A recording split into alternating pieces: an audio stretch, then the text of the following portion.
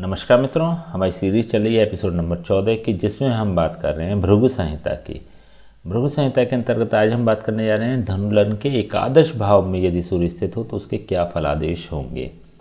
प्रथम भाव में नौ नंबर का मतलब होता है धनुलग्न और धनुलग्न में सूर्य नवम भाव का स्वामी होता है। नवम भाव होता है भाग्य भाव।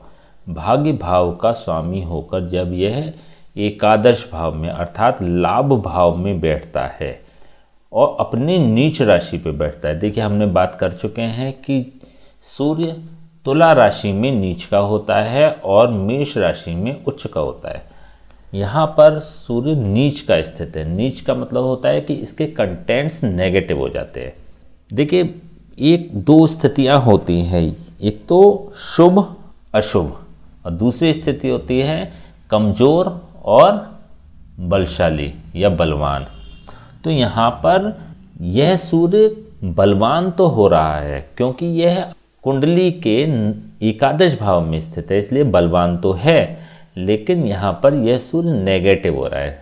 नेगेटिव का मतलब नकारात्मक फल प्रदान करने वाला हो रहा है। ये देखिए एक नेगेटिव स्थिति हो जाती है कि कभी कोई ग्रह जब पावर के साथ नेगेटिव हो जाता है तो यह बहुत तीव्रता के साथ अपने नेगेटिव फल प्रदान करता है। अगेन, यहाँ पर सूर्य एक शुभ भाव का स्वामी है। देखिए, पहले भी हमने बात करी है, हम लगातार बात करते आ रहे हैं एक सिद्धांत की। कोई भी ग्रह यदि शुभ भाव का स्वामी होकर अशुभ भाव में बैठता है, यहाँ पर ये लाभ भाव है, लेकिन हमें ये नहीं भूलना चाहिए कि यहाँ पर यह त्रिषडाय स्थान भी होता है। जब हमने भावों के सिद्धांत की सीरीज़ चलाई थी तो हमने आपको ये बताया था कि त्रिषडाय भाव तीसरा भाव, छठा भाव और एकादश भाव। त्रिषडाय भाव होते हैं, जिनके की फल नेगेटिव होते हैं, ये नेगेटिव भाव होते हैं। लेकिन यहाँ पर लाभ भाव भी यह कहा जाता है। क्यों? क्योंकि यह कुंडली का लाभ स्थान है, भाग्य का कर्म स्थान है, इसलिए इसको लाभ भाव कहा जाता है।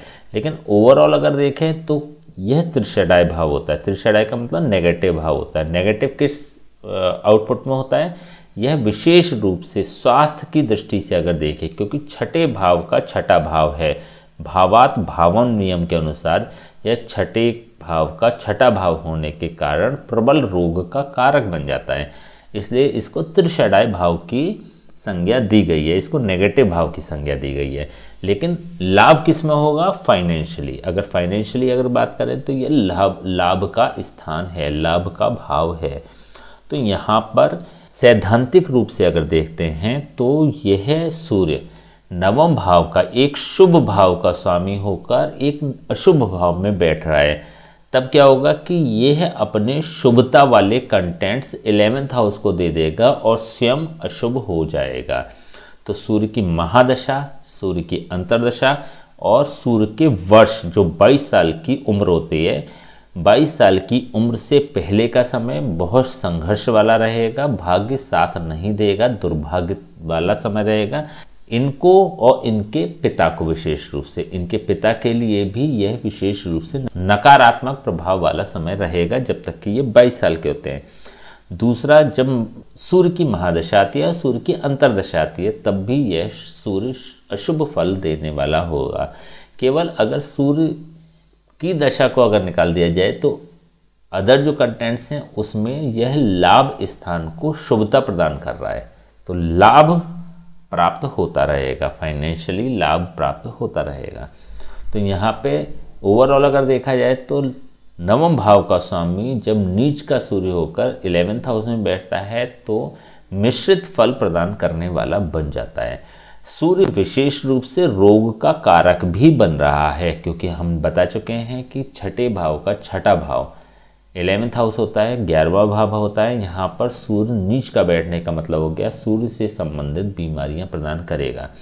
सूर्य से संबंधित बीमारी हो गई कि माइग्रेन की समस्या हो गई, सिरदर्द की समस्या हो गई हाई ब्लड प्रेशर की समस्या हो गई हृदय से संबंधित रोगों की अगर बात करें तो उनसे संबंधित समस्या हो गई, बालों से संबंधित या बालों का झड़ना या फिर गंजेपन की शिकायत, ये भी सूर्य की समस्या हो गई। हड्डी से संबंधित जो रोग होते हैं, वो भी सूर्य के कारक होते हैं। तो यहाँ पे इनसे संबंधित यह नेगेटिविटी प्रदान करने वाला होगा। सूर्य की इलेवेंथ हाउस से सीधी दृष्टि पंचम भाव पर है। पंचम भाव में इसकी उच्च की राशि है। पहले हम बात कर चुके हैं सूर्य की दृष्टि, पोषण करने वाली दृष्टि होती है, लेकिन यहाँ पर सूर्य ऑलरेडी अशुभ हो चुका है। सूर्य इन जनरल भी अगर बात करें, अगर ग्रहों की बात करें, जैसे हमने जब ग्रहों के सिद्धांत की बात करी थी, या हमने ग्रहों के बारे में अलग अलग ग्रहों की चर्चा करी थी तो जब आप सूर्य वाले एपिसोड को देखेंगे तो वहाँ पे हमने बात करी है कि सूर्य एक विध्वंसकारी ग्रह होता है, एक पृथकतावादी ग्रह होता है, एक तीव्रता वाला ग्रह होता है अग्नि तत्व का कारक ग्रह होता है। तो ओवरऑल अगर देखें तो सूर्य इंडिविजुअली भी अगर बात करें तो बहुत शुभता लिए हुए ग्रह नहीं होता। शुभता वाले कंटेंट्स इसके नहीं होते। लेकिन क्योंकि यह आत्मा का कारक है, इसलिए यह बहुत महत्वपूर्ण हो जाता है कुंडली में।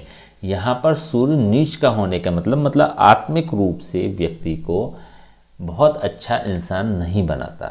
व्यक्ति की फाइनेंशियल पोजीशन समझ लें या फिर परिस्थितियाँ समझ लें, उसके वशीभूत होकर व्यक्ति कहीं ना कहीं नेगेटिव सोर्सेज से भी, असामाजिक कृत्यों से भी या असामाजिक जो सोर्सेज होते हैं, उनकी से भी धन की कमाई करता है। जैसे टैक्स की चोरी इन जनरल अगर देखें तो वह एक लीगल वे में अपराध है।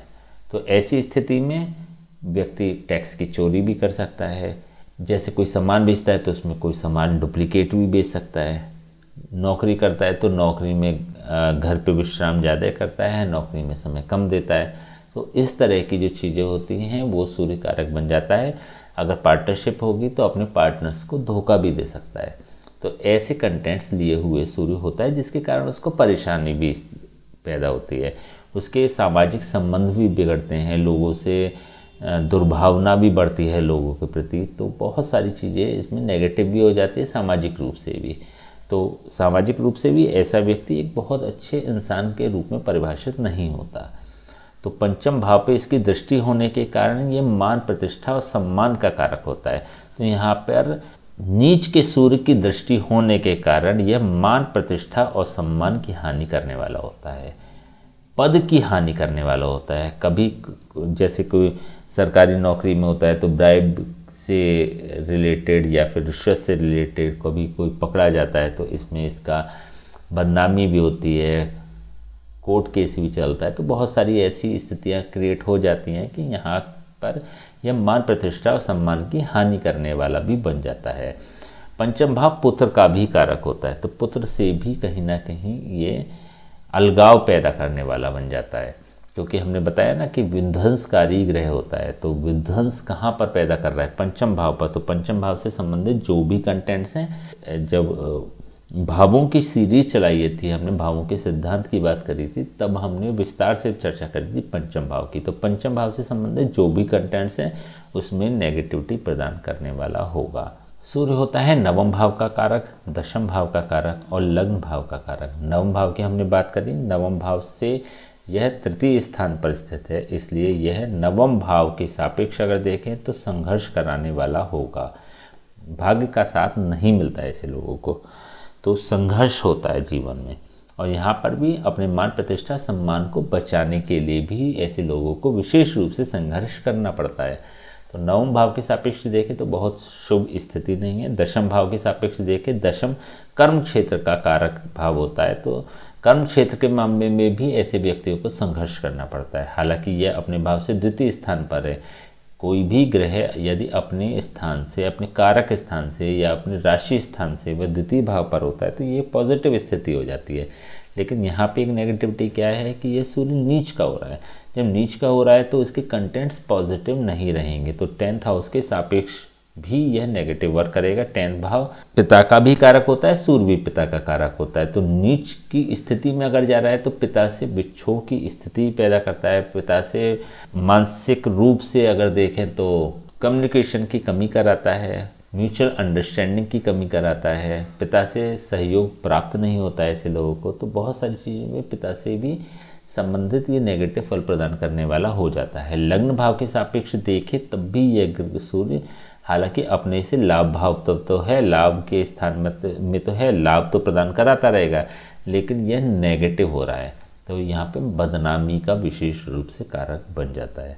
चलिए अब इसके उपाय की बात करते हैं। उपाय बहुत ज़रूरी हो जाते हैं सूर्य के जब यह इलेवेंथ हाउस में नीच का हो जाता है।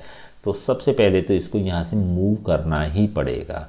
जब हम मूव करते हैं तो एक बहुत अच्छी स्थिति जो होती है वह ये होती है कि यहाँ से किसी भी, देखिए एक सिद्धांत होता है, जब हम उपाय करते हैं और जब मूव कराते हैं तो किसी भी ग्रह को अपने स्थान से ठीक सामने वाले स्थान में अगर मूव कराए तो ईजिली वह मूव हो जाता है।